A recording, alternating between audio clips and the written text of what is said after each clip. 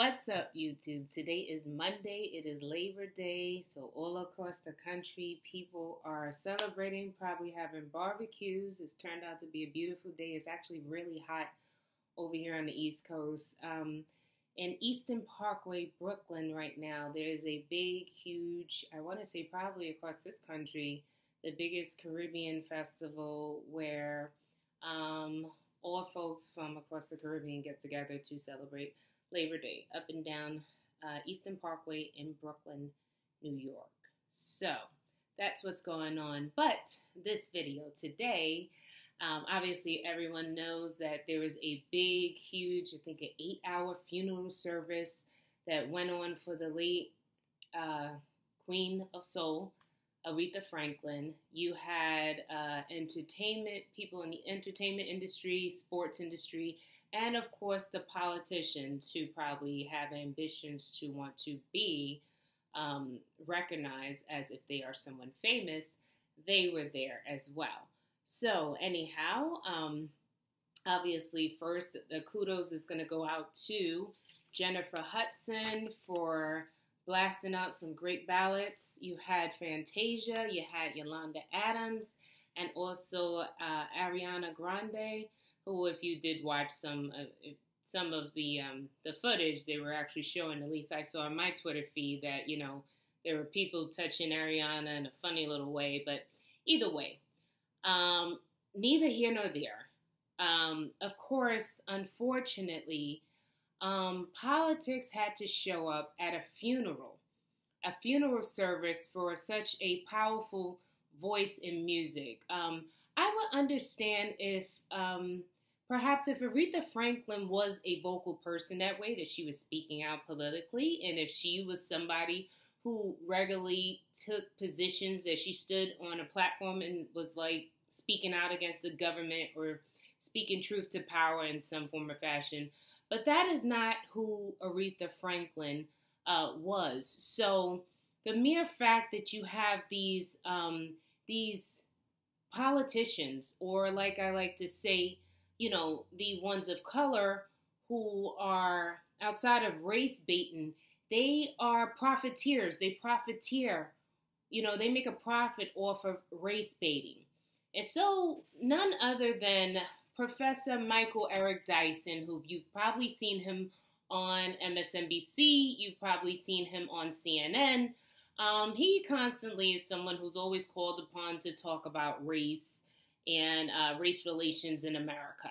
He kind of talks like a rapper, like maybe he wanted to be a rapper one day. Um, he just, you know, it's the way that he speaks. He has this way um, that he uses words. So, in his speech, actually, at the service, he goes into talking about orange apparition. Here we are, we're talking about Trump. I don't even know how he even led up to that. He was talking about a bunch of other things, but of course, here he goes. Um, he called him a leech. He said he was a doppelganger of deceit and deviance, a dictator, and a fascist. So, I mean, really, this is a funeral service, and we're spewing hate at a funeral service.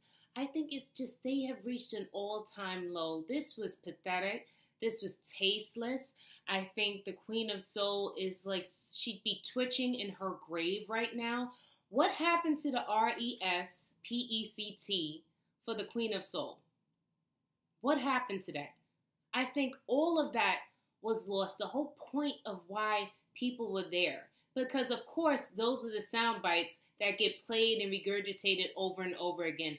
This was tacky, it was highly inappropriate, and I wonder how her family really felt about this. I felt this was so disrespectful to the Queen of Soul. Like, seriously, is this the way that we want to remember her? That we put these fake wannabe people who probably had no relationship to her that they take this opportunity when people are grieving and they're supposed to be rejoicing to then just use their tongue to spew this kind of hate at a funeral service. I felt that was really, really tacky and uncalled for. It was ugly. And it shouldn't have happened. And um, I'm embarrassed that um, obviously, even when you have such a time like this, that this is the way that they chose to um, to so-called honor uh, Aretha Franklin. It was unfortunate. Tacky, you had um, Al Sharpton taking swipes, Maxine Waters, like at some point in time they said, you know, we're with you and she did some like like she's a victim or something. Like, really? That was tacky. So, um, you know, having said that, I wish if I'm gonna say his name, hopefully I say his name his name right. The black man that's running against uh, DeSantis in Florida, Gilliam or Gilliam, either way, that guy. Wouldn't it have been nice if he just didn't take the bait uh, on CNN with Chris Cuomo?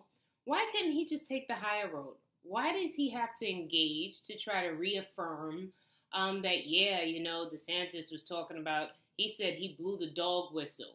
So he blew the dog whistle and you responded. Did you have to respond? No, you didn't. And I think when we look at the whole picture and put it into context, you knew that he wasn't saying anything that remotely had to do with racism. But yet you use this opportunity and then you go on a show and then you double down on it. You knew that he was talking about policies, but here it is. Now, all of a sudden, it's an issue of race. So I wish DeSantis the best of luck in Florida. I can't say much about this Gilliam Gilliam guy because in all reality, I just don't have much to say about him. I just, you know, the headlines went on for days about this monkeying around. And Gilliam, Gilliam, I wish you would stop monkeying around. Why don't you make a real debate and argue about the issues? Argue as to why your policies and where you stand are better than DeSantis. And if you can't do that, then you shouldn't be in the race. Really, seriously, it really is a battle of ideas and who comes to the table with something um, that best fits the needs and wants of the American people. So please stay away from race. And I think you actually t- took yourself down a couple notches by actually engaging in that garbage. So, no respect there. Um, I think I did read on Twitter that Candace Owens is going to be out there also campaigning on behalf of DeSantis. I think that is awesome. That's fantastic. So, again, DeSantis, I wish you the best of luck. And Candace, also, I wish you the best of luck um, bringing people and, and bringing people and making it clear to people about what's really going on, what's at stake, and why this election is so important.